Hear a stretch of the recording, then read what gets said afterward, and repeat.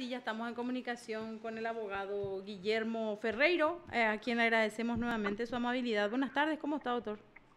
¿Qué tal? ¿Cómo están? Buenas tardes. Encantado de saludarle.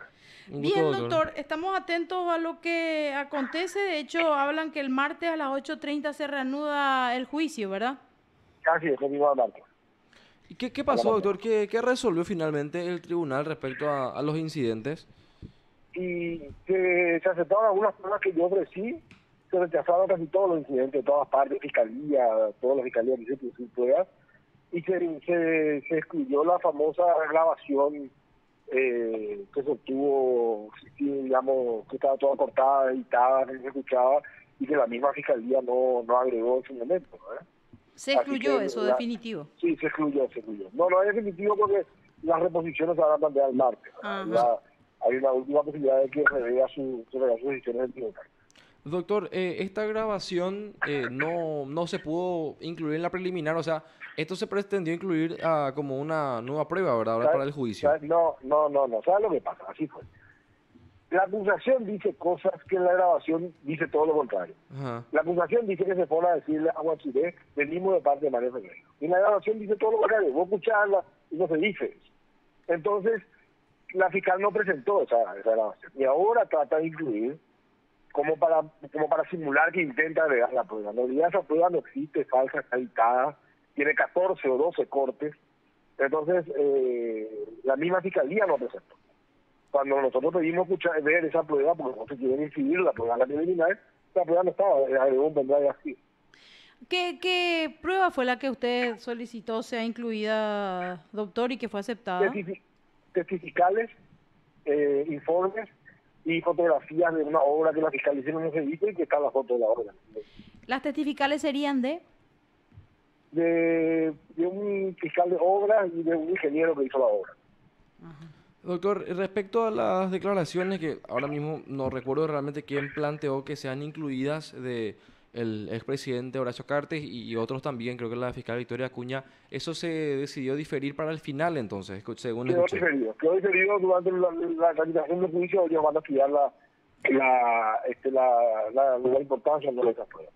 En ese caso estaban a ver eh, entonces, o se pretendían incluir como testigos a, Horacio Cartes, a la fiscal Victoria Acuña, a Enrique Riera. Enrique Riera, sí. Porque te acuerdas que Enrique Riera contó, después hicimos públicos esos audios donde Camilo contaba que todos estaban planificando todo esto. Enrique Riera dijo, sí, yo lo vi en la, eh, me hablaron del tema, yo lo vi en la casa de Cartes, estaba ahí, me pareció muy raro verlo ahí, dijo, ¿te acuerdas? Sí, sí, sí. Ya entonces esto, eh, de acuerdo al trámite del juicio, a lo que digan los testigos, ellos van a resolver si los convocan o no, entonces, doctor. Así es. ¿Y quién, quién planteó esto, doctor, para que se incluya las pruebas? ¿O, a ellos en realidad como testigos? ah, usted, usted, doctor. Usted entonces quiere que se incluya ya así directamente, ¿verdad, doctor? Claro, es que, es que nosotros recibimos para la preliminar y nos excluyeron sin ningún motivo. Ah, no es que van a estudiar la pertinencia. La prueba, la, la, prueba de la defensa no se estudia la pertinencia. Eso está equivocado. La defensa pone la prueba y se, se tiene que realizar el funcional. Eh, esto de alguna forma también eh, sería el elemento contundente para, eh, me imagino, eh, dar sustento a la hipótesis de que esta acción concreta tenía un trasfondo claramente político, ¿verdad? En su momento. Nunca en la vida hubo una causa basada en fotocopias, jamás, nunca. Acá se ordenó el allanamiento de la municipalidad de Asunción con una fotocopia sin pedirle a la persona que dice yo tengo el teléfono desde que se hizo esto sin pedirle que entregue el teléfono. Nunca. O sea, y, estos son, estos son algunas de las cosas más que van a demostrar que esto es, fue un montaje, fue un montaje además burdo, grosero, fácil de demostrar. Eh, hay un montón de cosas que, que se van a demostrar que, los testigos dicen y que los hechos demuestran todo lo contrario. Por ejemplo, la obra que no está y que sí está y que, se, que es una obra de la administración anterior. No, no, no Mario Ferreiro no, no un solo pago de esa obra. ¿Me explico? Ah, o sea, ese, ese dinero ni siquiera se llegó a ejecutar, por decirlo de alguna forma, no se llegó a ordenar. Se pagó durante la administración de Mario Ferreiro el último pago de una obra, pero que la obra no la dio Mario Ferreiro, la salió de la administración anterior. Y Mario Ferreiro no firmó un solo cheque. Ahora nos decía, doctor, los incidentes de, de, A ver, de nulidad del auto de apertura a juicio y demás, eh, se rechazaron todos entonces. Eso se rechazaron todos, sí, se rechazaron todos. Ok. Bueno, ahora la reposición entonces que vos al menos nos adelantaste, doctor, van- vas a presentar el, el martes y bueno, la defensa Martes, también sí sí. consideran Martes ese día. Tenemos un, sí, un par de horas otra vez pues, sobre, vamos a ver todas las partes, la fiscalía, la que ella también podrán reponer los incidentes que le fueron rechazados. Bueno, doctor, nuevamente gracias, muy amable como siempre. ¿eh? Y feliz día de la primavera, lo vimos muy sonriente. Igualmente, en el transcurso de la mañana en, Sí. en, en tribunales directamente no lo pudimos ver por acá, por el estudio. A- al, al mal tiempo buena cara. Y usted feliz día, usted que jóvenes. Gracias, doctor, hasta luego. Un abrazo, hasta luego. Te informó PDS Radio TV Digital. A toda costa queríamos nosotros, en conversación con el abogado Guillermo Ferreiro, también ser considerados jóvenes. Eso es algo Claro, ¿por qué no? verdad? mental, es de actitud.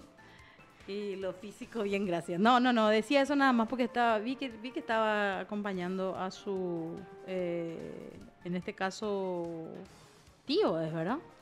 Su tío, sí. Y después los sobrinos también, ¿verdad? Los Yo no sé si él representa a los sobrinos No, no, también, no. Solamente está por la defensa de, Del señor Ferreiro. del exintendente Mario Ferreiro, efectivamente. Y bueno, a ver, le consultábamos sobre este incidente porque realmente los nombres que dieron como para incluir co- incluirlos como testigos eh, son interesantes, ¿verdad?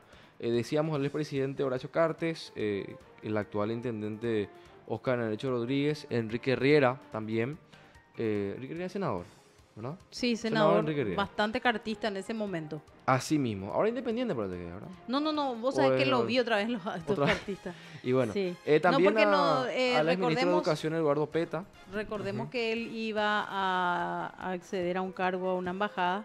Esto se rechazó y obviamente ante la falta de apoyo y de ese respaldo, eh, bueno, él vuelve a las filas del eh, movimiento Honor Colorado.